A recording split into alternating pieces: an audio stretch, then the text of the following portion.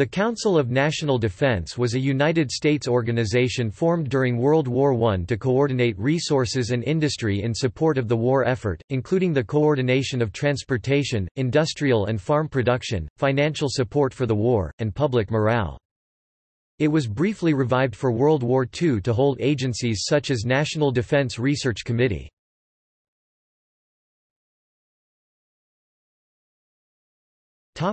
Organizational history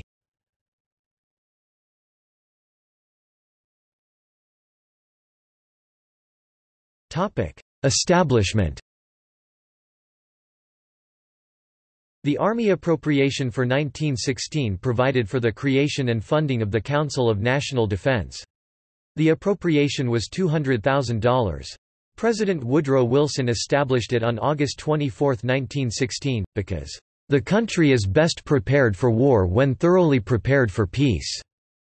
Members of some portions, such as the Medical Officers Reserve Corps, which had existed previously as the Medical Reserve Corps, reverted to their former roles preparing for emergencies.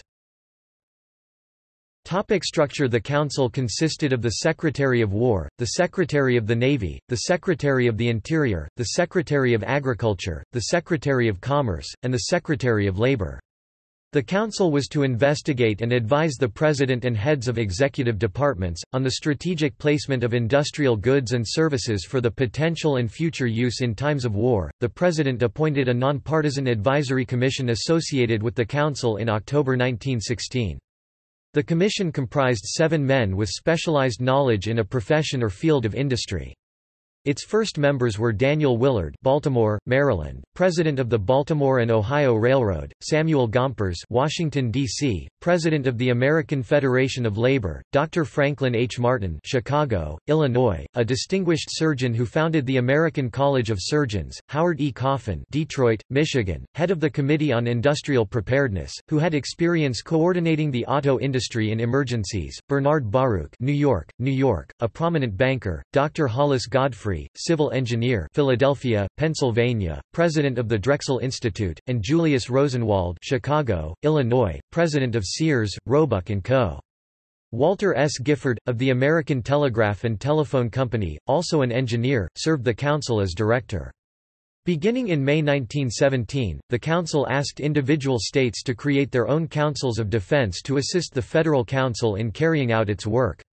Some formed separate women's committees of national defense and southern states, at the urging of the National Council, formed organizations for Negroes. In January 1920, the Council recommended the creation of an expert survey board to conduct research studies over the next six months to enable speedy mobilization in the event of another war.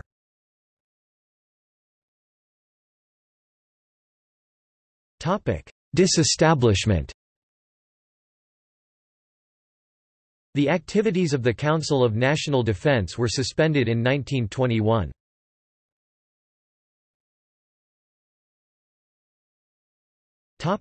See also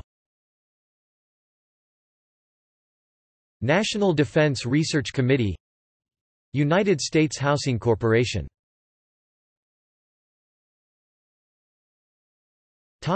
Footnotes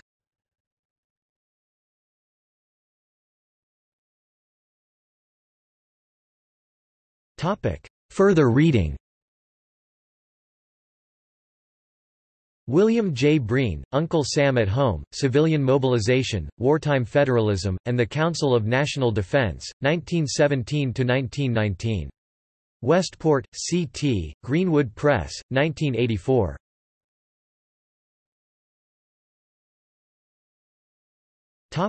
External links Council of National Defense